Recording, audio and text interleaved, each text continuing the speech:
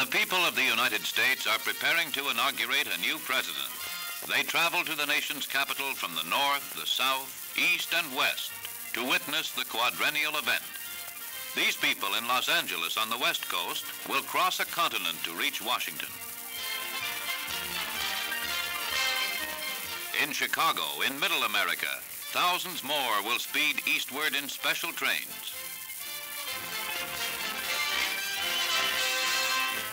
Under the tropical sun of Florida lies Miami, whence every means of travel is used for the 1,200 mile journey northward. Similar scenes are being enacted all over the nation.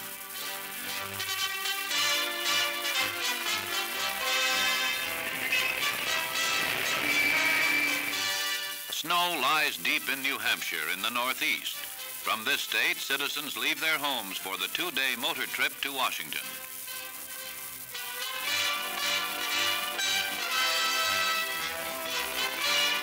And at the Capitol, thousands pour into the city.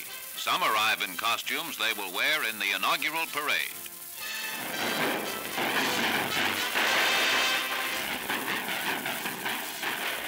These men bring a model of a pioneer coach. And here with his wife arrives Dwight D. Eisenhower, chosen by the people as their new president. Major John Eisenhower has come from the United Nations forces in Korea to see his father take office. Hotels are filled to overflowing and railway cars serve as temporary abodes. On the morning of Inauguration Day, the President-elect and Mrs. Eisenhower attend religious services. Similar services for the new president are held throughout the country.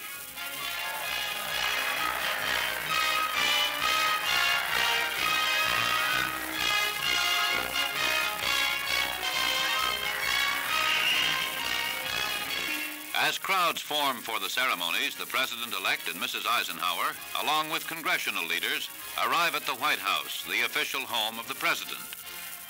They are met by the retiring President and Mrs. Truman.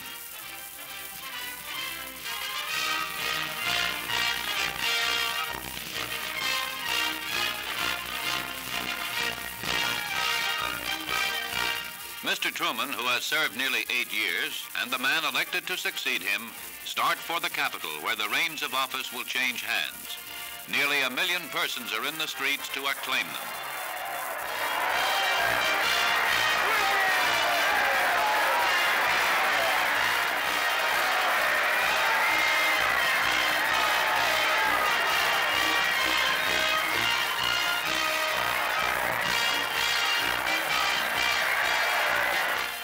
At the Capitol building, where presidents have been sworn into office since 1801, some 150,000 persons gather. Focused on the waiting throng are newsreel and television cameras to carry the day's events to the world. The dignitaries file through the Capitol rotunda toward the portico where the transfer of the presidency will occur. Here are members of Congress. Behind them, members of the Supreme Court of the United States in judicial robes. With the heads of the military services is a former Chief of Staff, General George Marshall, now retired. Honored guests at the inauguration are members of the Diplomatic Corps.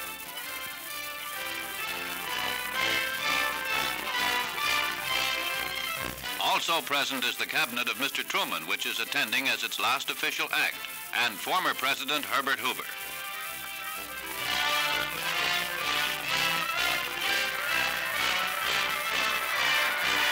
Last to enter the portico is Mr. Eisenhower, who will be the civilian leader of the United States for the next four years. And Mr. Truman joins in the applause that greets Mr. Eisenhower.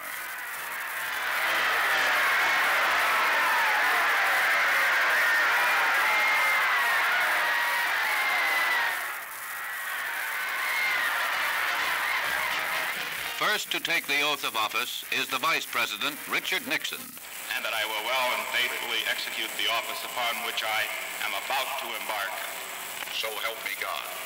So help me God. Congratulations, Mr. Vice President.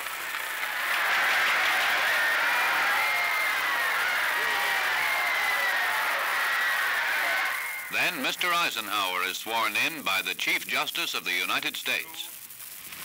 Dwight D. Eisenhower, do solemnly swear I, Dwight D. Eisenhower, do solemnly swear that you will faithfully execute the office of President of the United States that I will faithfully execute the office of the President of the United States and will, to the best of your ability, and will, to the best of my ability, preserve, protect, and defend the Constitution of the United States.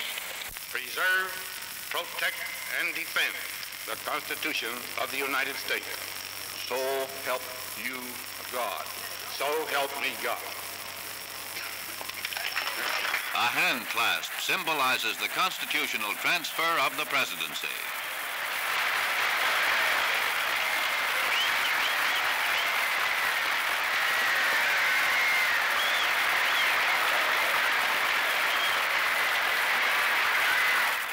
The throng awaits the inaugural address. Following a custom established by George Washington, the first president, the new president outlines the principles that will guide his administration.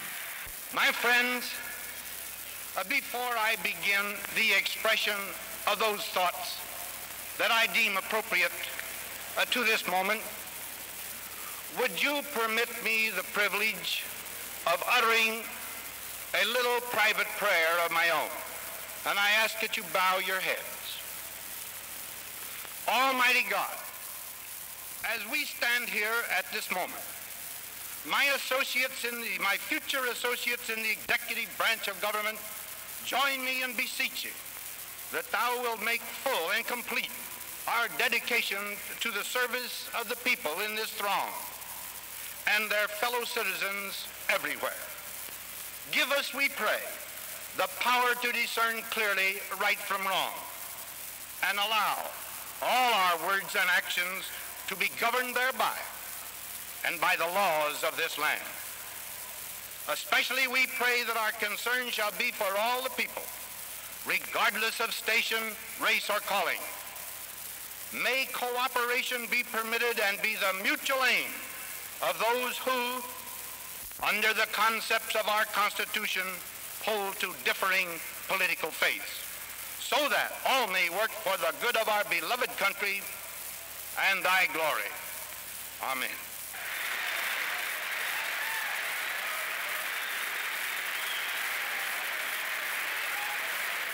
We are summoned by this honored and historic ceremony to witness more than the act of one citizen swearing his oath of service in the presence of his God. We are called as a people to give testimony in the sight of the world to our faith that the future shall belong to the free. At such a time in history, we who are free must proclaim anew our faith. This faith is the abiding creed of our fathers. It is our faith in the deathless dignity of man uh, governed by eternal moral and natural laws. This faith defines our full view of life. It establishes beyond debate those gifts of the Creator that are man's inalienable rights and that make all men equal in his sight. The enemies of this faith know no God but force, no devotion but its use. They tutor men in prison. They feed upon the hunger of others. Whatever defies them, they torture, especially the truth. Here then is joined no argument between slightly different philosophies. This conflict strikes directly at the faith of our fathers and at the lives of our sons.